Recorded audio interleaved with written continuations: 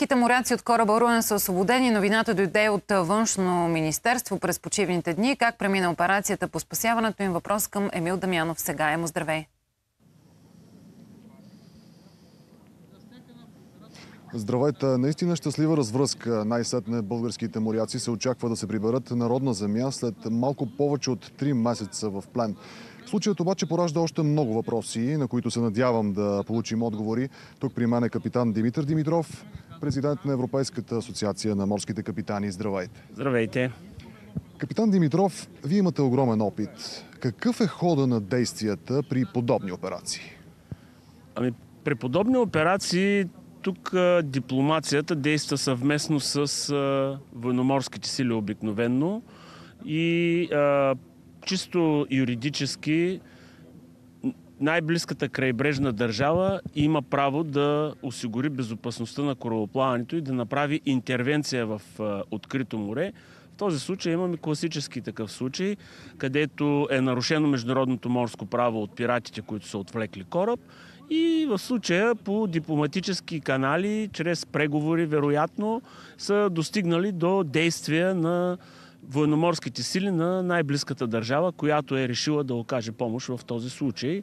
И за щастие, наше щастие, всички моряци са живи и здрави. Е, риска е огромен. Е, обикновенно при такива операции пиратите държат е, въоръжени хора близо до екипажа на пленения кораб и при всякакво застрашаване на тяхната дейност те реагират, но очевидно в този случай има оценка на риска е преценено, че няма риск за хората и за, ща, за щастие на всички хората са живи и здрави.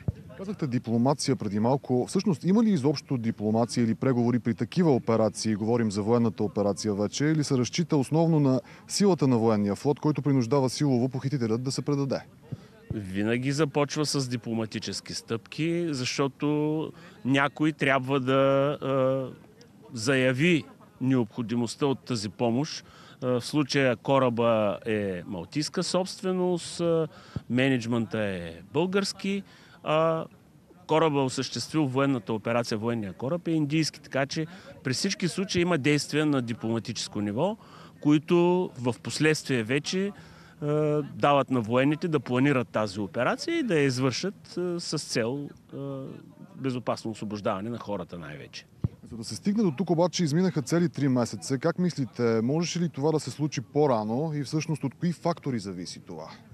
Ами всъщност винаги при отвличания от пирати има, започват преговори между страните, които е, са засегнати. Това са менеджмента на компанията, която е собственик на кораба, застраховат, нейните застрахователи и пиратите. От там нататък вече доколко е, тези страни ще ангажират тяхните дипломации, в случая, ако говорим за менеджмента на компанията е български, това означава българската, диплома, българската дипломация. А, а, со, иначе кораба е собственост на Малтийска и плава под Малтийски флаг. Там пък Малтийската дипломация. Предполагам, че на европейско ниво е действано, но това може би дипломатите го знаят по-добре. Сега каква е процедурата от тук нататък, след като вече моряците са спасени? Как се процедира? От тук нататък просто кораба трябва да отиде до, предполагам, до първото пристанище. Аз чух едно изявление на капитан Калчев, че след пристигане на кораба в Индийско пристанище, те ще бъдат пред, нали, доведени до България, за да могат да, нали, да, да се върнат по домовете си. На този фон обаче от Външно министерство продължават да работят по освобождаването на моряците от кораба Galaxy Leader. А как смятате да очакваме ли там щастлива развръзка и от какво зависи? Ами те случаите са съвсем различни. Е, тук последните информации, които се чуха е, че има някакво движение и преговори между похитителите на Galaxy Leader и другите воюващи страни района, в района в случая Хамас. Доколко са верни тези информации аз не мога да потвърдя, но ако има такива действия между двете там е, страни, хутите и е, Хамас, вероятно трябва да се преговаря с е, тези групировки, което пак при всички случаи минава през дипломатически канали. Много ви благодаря. Това е за сега от тук. Лора, обратно към теб.